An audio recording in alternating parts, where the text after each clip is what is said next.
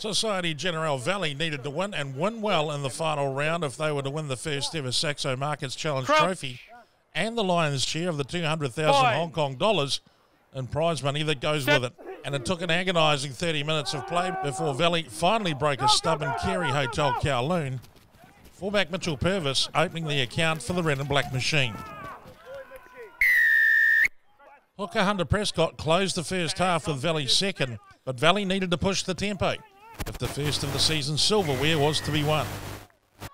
The explosive Latu punctured Kowloon's line, and from that point, it was an all out assault. Lennox the next to follow. Replacement hooker Ryan Campbell crossed for Valley's fifth try.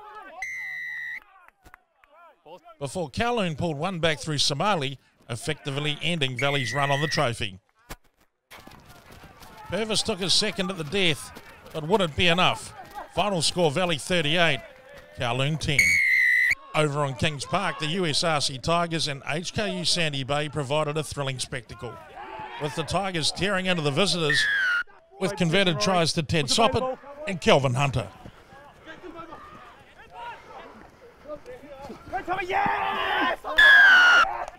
HKU Sandy Bay fly half Nick Cumming responded for the visitors, as did prop Ashton Hyde, to return the scores to level at 14 all. The Tigers' favourite Sam Purvis put the home side in the lead on the halftime whistle 21 14 in a strong first half performance.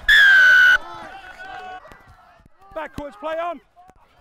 Off the break, Cumming produced a moment of sheer brilliance to bring the Bay within two points of the lead. And if that wasn't enough, he produced an almost carbon copy five minutes later for the lead. Sandy Bay up 24 21. Happy? Michael Maloney's lane penalty was all the Tigers could muster in the second half before a last gasp effort from the Bay clinched the win. HKU Sandy Bay beat the Borrelli Walsh USRC Tigers 29 24. All eyes then turn to the game of the week. Clash as Natixis Club and Bloomberg Hong Kong Scottish.